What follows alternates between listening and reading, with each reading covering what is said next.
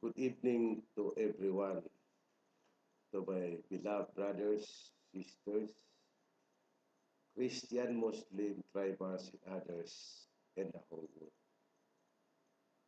As of today, this is the final judgment of the 50 years Federation, Philippine, Malaya, Indonesia, is over by tomorrow.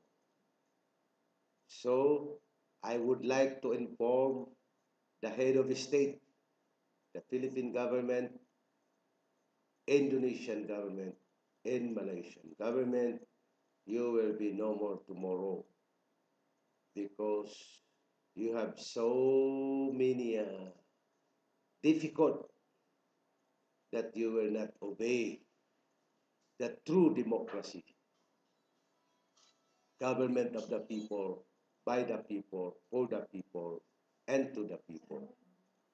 What you have to give to the people is the government of Marcos regime, by the government to the politician, for their own pocket. That is enough. Is enough.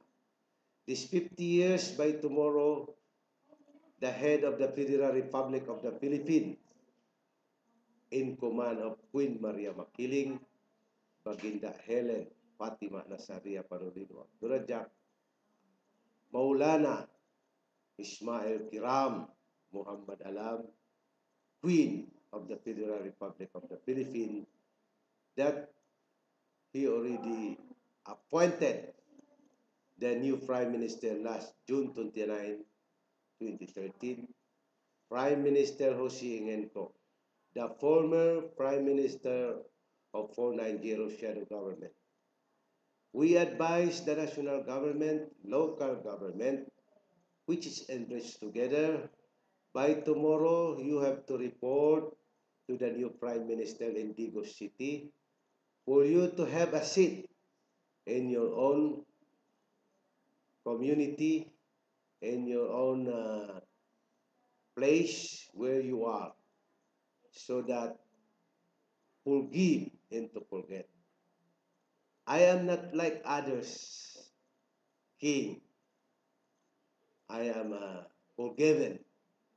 I don't want to have any more crisis in southern Philippines, in Sabah, and Middle East, and other countries. We will have to put and order the law.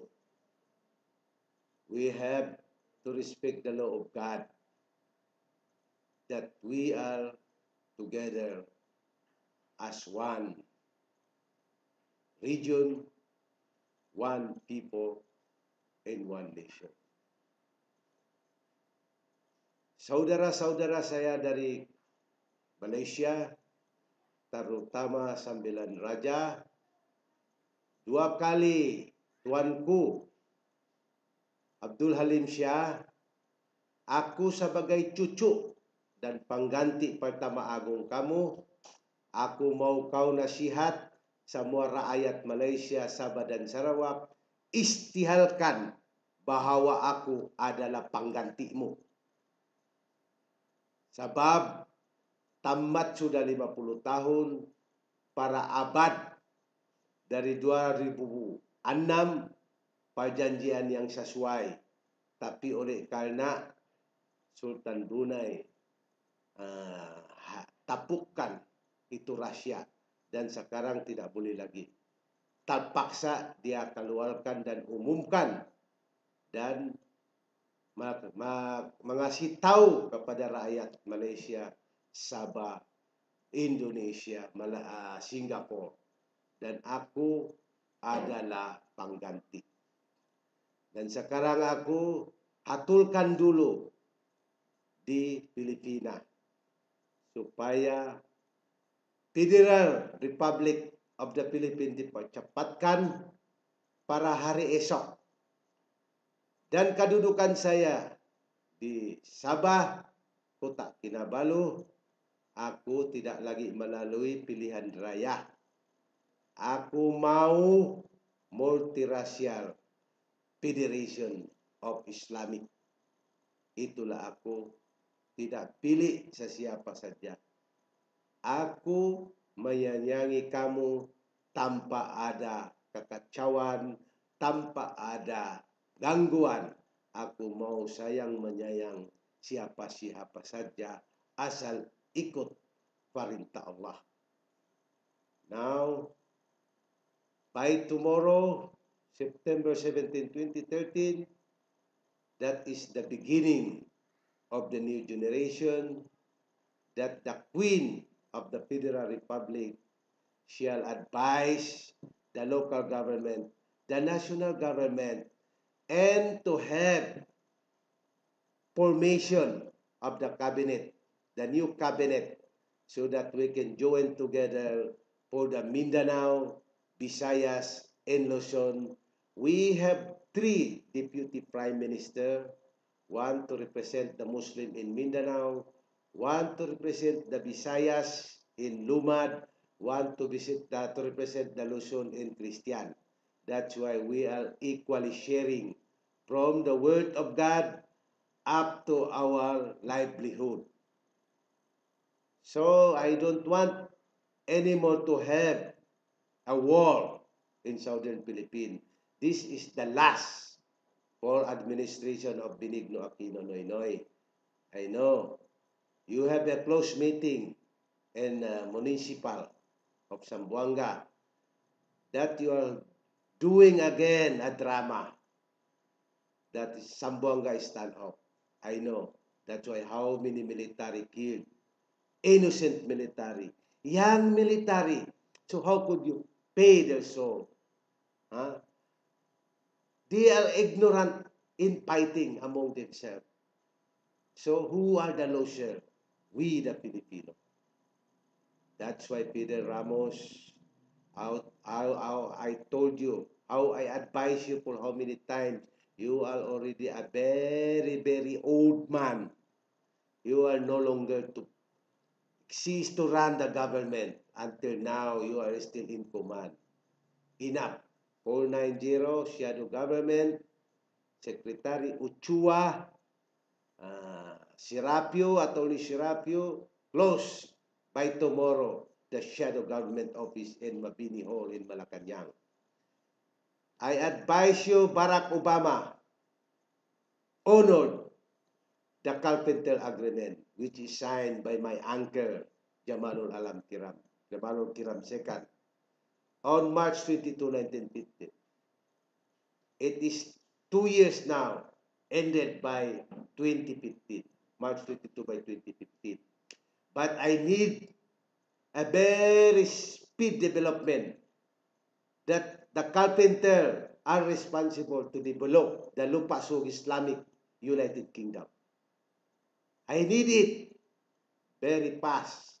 Barack Obama, you have so many sin. You see how you destroyed Libya, how you destroyed Syria, how you destroyed Iraq, how you destroyed Iran, and how you destroyed Afghanistan and undergoing to Southern Philippines. Warning to all destructive CIA, I am you, the one enemy. I fight for you. I am not afraid to die. I am useless to be the Sultan of and not born if I am afraid. Remember, CIA destructive enough. Stop doing illegal activity in my territory.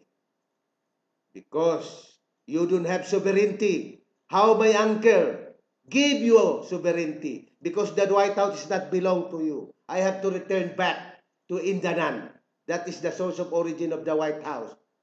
Because how many innocent people, civilian people you killed since from Reagan and Padel Insan, George W. Bush, Now, George W. Bush, the son, you have given you a chance to stop all the war in Middle East, the war in Afghanistan, the war in Southern Philippines. I give you an advice. Return back the democracy which is mandate by Abraham Lincoln. You are not the one who control the Republican, the Democrat.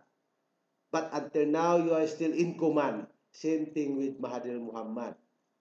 Uh, you already resigned on October 23, 2003, but you are still in command. Same thing with Peter Ramos. You already finished your term as president, but you are still in command. So how the democracy in the whole world was not being respected, was not being given mandate by the people, through the heart of the people, but all the politicians as of now are political dynasty. We don't want any more political dynasty by tomorrow. We don't want to bring the system of the communist here.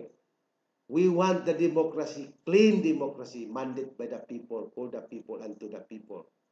We don't want anymore to kill innocent people. You see how many already people uh, without house.